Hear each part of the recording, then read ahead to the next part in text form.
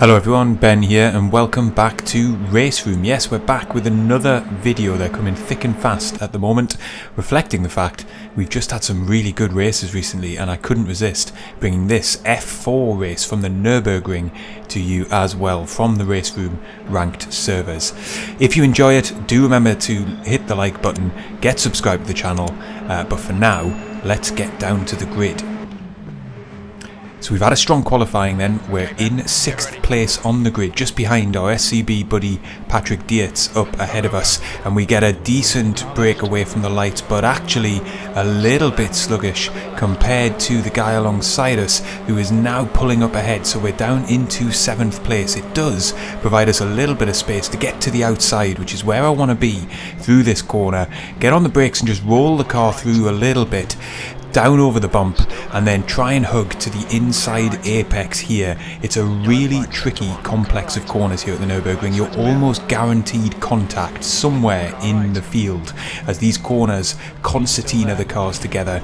We've managed to make the apex here so we're side by side with the car that we lost out to on the line. He manages to hold it through the inside apex so we're going to switch then to the outside for the next corner. We got a better exit so we're going to be fully alongside into the braking zone but unfortunately he has the high ground into the corner. We have to just get out of it because it's not worth risking an accident. And then we've got Sikorsky behind us who's putting pressure on too. So we are down one spot off our starting place, but no damage uh, and all to play for in this race. The times in qualifying very tight all the way through the top six. Oh, and look at that! The car up ahead spears off to the right hand side, gets it wrong in on the exit of the hairpin. So we've actually got that place back. We're up into sixth position uh, without having to make uh, a proper pass on track. Uh, I was saying the times in the top six or seven very, very tight together. So I'm expecting a brilliant race, and if we can secure a top six finish, then that will be brilliant. Coming round then, the tricky right-hander, I find it the most challenging corner on the circuit, and it's so important because you need a good exit speed onto this back straight. We're coming up the hill then towards the chicane. I've got Sikorsky in my mirrors who's looking to make moves. Cars up ahead going side by side. And it looks as if something's happened up ahead and that's Dietz off to the left hand side. That's a big shame for him. Coming into the final corner then, the guy up ahead leaves a gap so we dive to the inside alongside Zap. We're going wheel to wheel through the final corner and we're going to exit the corner wheel to wheel as well. We haven't quite made the move stick but that was an opportunistic little dive to the inside as he left the apex open and we had a little bit more speed going into it. We're still side by side here. We get on the brakes as late as we dare. We're going to run slightly deep. We're going to come through the corner, then just about hold it within track limits. A tiny bit of contact with Zap, but we make the move stick in the end. It looked like something went on behind us with Sikorsky, and he's dropped all the way down the field now, so perhaps we can take a little look at that on the replay in a moment. But we're up to fourth position. What an eventful opening lap where we were able to just about keep our nose clean.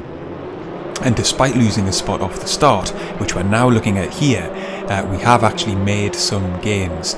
So this then is the replay of the start. We're heading down into T1. Uh, I'm using the helicopter cam here just to give you a sense uh, of how different cars are positioning themselves on the track. We go around the outside of T1 to just make sure we don't get pinched on the apex and we position our car well then for the next set of corners where I don't really want to get pushed out wide. Again here we're going to try and get down the inside but we're a little boxed in. I can't roll the car all the way through here.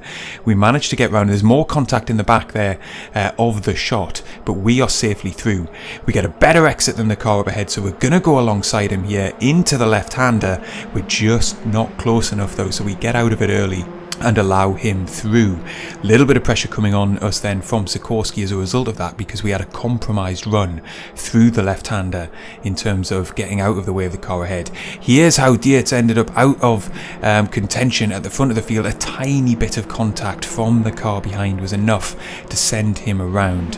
And then here's the opportunistic pass that we made into the final corner. You'll see it here. We just have enough space to go for it, so we dive down the inside. Tiny bit of tyre rubbing, but nothing wrong with that. And we were able then to get alongside on the start finish straight. And it's a drag race at this point. Uh, we just have to hope uh, that essentially we can keep the inside line and get on the brakes just slightly later. We've got Sikorsky in our draft behind us. We get on the brakes just about the right time. It's going to run us a little deep into the corner, but we can keep hold of it and keep on track. And then there's just a tiny bit of contact, but nothing too bad. And there's Sikorsky off in the background. Let's take a look from his on board as to what happened there then. Here he goes down the inside, and oh, he's just misjudged that slightly, and it's enough to tip him into a spin. Over the laps ahead, then, there was a fantastic battle raging for the lead of this race. Westenfeld and Wood are going hammer and tongs at each other here. Westenfeld in the lead, Wood just behind in the yellow liveried car, really trying to force the issue and get down the inside and claim first position. We're trying to close up on the back of third spot here, so it looks like it could be a four-way battle for the lead as we rejoin the live action. We're still behind Birkelbach here, looking to try and put a bit more pressure on, and then we've got Wood and then Westenfeld up in first position. We come through uh, the S's section of the track then and we're just trying to close up on the back of third place and get ourselves up into the podium spots which would be a great result for us here.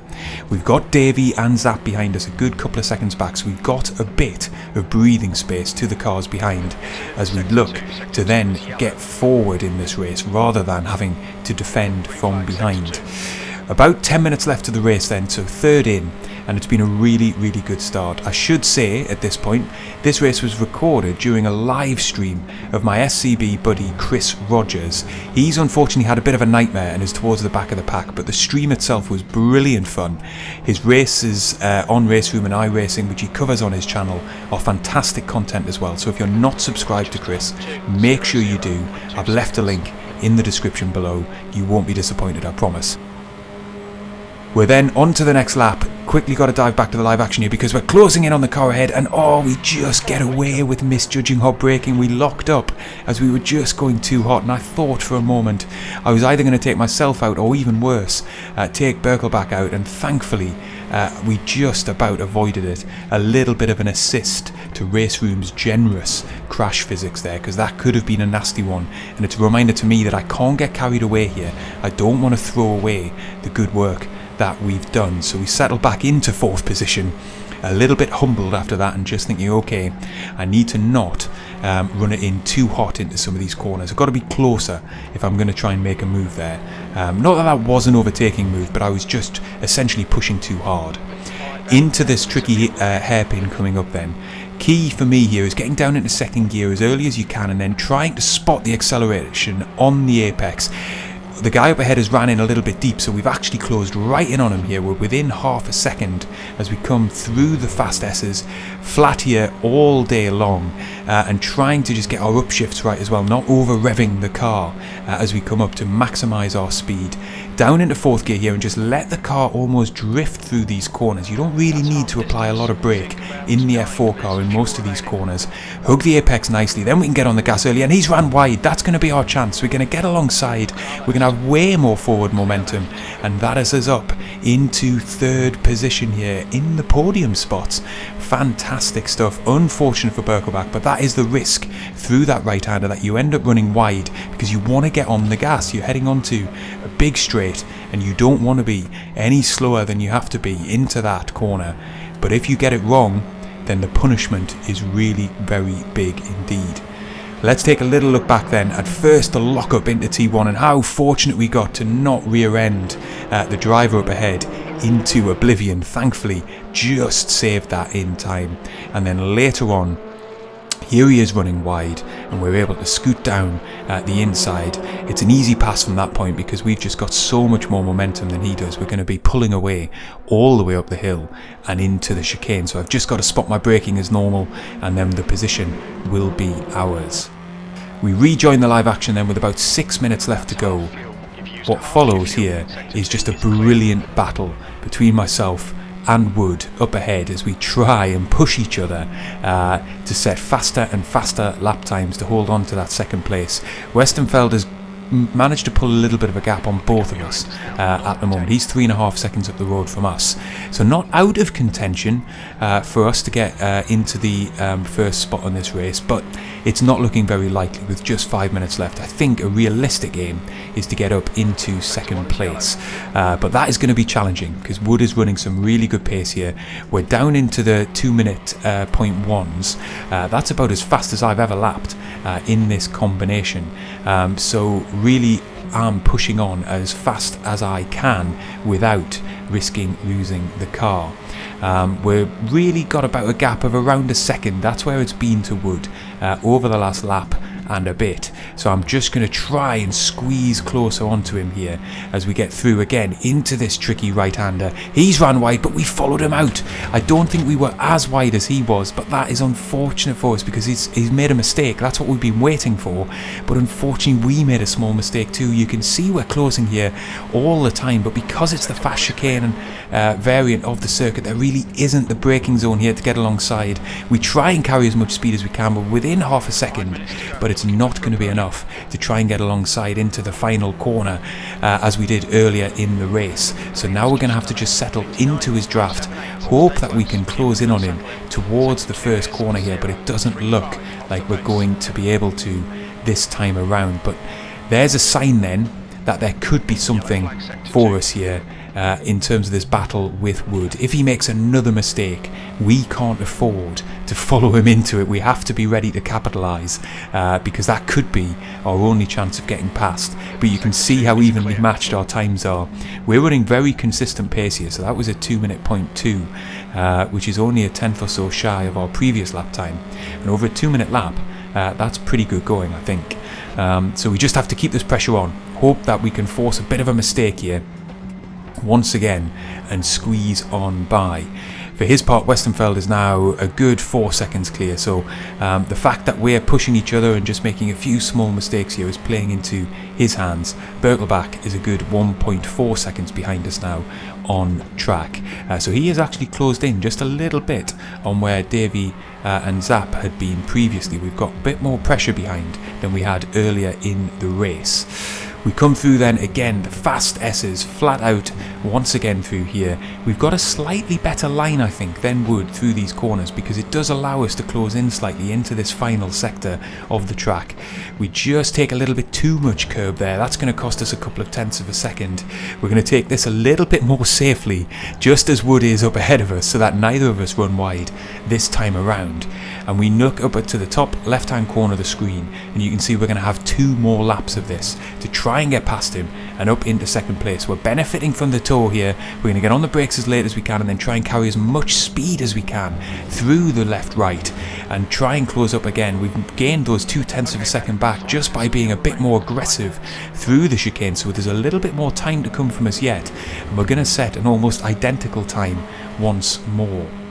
We flash forward then onto the next lap towards the end of it and we've gained three tenths of a second through this lap so we're pushing really really hard here. But so is Wood. The gap has hardly come down despite the fact we're going half a second more than half a second quicker than we have so far in this race. So we're really bringing the best out of each other in this race for second place Wood sets the fastest lap of the race, but then we set the fastest lap of the race straight after, a couple of hundredths quicker, into the 159s now. 159.7 uh, is the quickest lap of the race now, and it's ours as we come on to the final lap of the race here. So it's now or never. I have to try and squeeze up onto the rear wing of Wood here and try and make a move somewhere on this Nürburgring lap. We've dropped Birkelbach behind us then, he's a good three seconds behind now. So it's all eyes forward as we try and claim this final extra spot uh, to get up into second place. Westenfeld, as long as he doesn't make a mistake, he's got this race win sealed uh, up now, uh, but we could find ourselves in second place if we can only uh, force Wood into a further mistake. Through the right hander then, we're going to get down the hill towards the hairpin this is one area where we might run a little bit deep, so I want to just try and keep this neat and tidy into the corner here. We've pushed it a little bit harder than we normally would, but I think we're going to carry decent speed through, and we have emerged from the corner a little bit closer to him. 0.6 seconds says the relative board. Flat out through here one final time, And again, we're closing in all the time now. We're less than half a second behind him.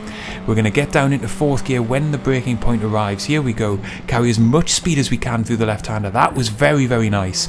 He's taken a decent corner through there as well. Can we close in through this right-hander? He's nearly off into the gravel again, but he just about gets uh, the judgment right there. We're tucked into his draft, but it isn't looking like we're going to be close enough here. The gap is still four and a half tenths of a second. There's no braking zone to speak of here. We're down into fourth gear as late as we can, carry as much speed through here as we can. Sparks flying as we come towards the end of what has been a thoroughly absorbing race here. We close in as much as we can, but the gap is going to be around three tenths of a second as we cross the finishing line for the final time. What a race uh, for the podium positions there. Really, really enjoyable. Credit to the guys at the front for making that so much fun um, to push all race long and be really competitive, uh, but without any sign uh, that there was going to be any contact or any dangerous driving there. Here's the final classified results then. Congratulations to Westenfeld for getting the race win. Look at the fastest laps from the top three of us there, all in the 59 sevens. Uh, really evenly matched pace and only a couple of seconds covering the three of us by the end. Really, really enjoyable. I hope you enjoyed it. If you have, leave a like, get subscribed to the channel, and I will see you next time.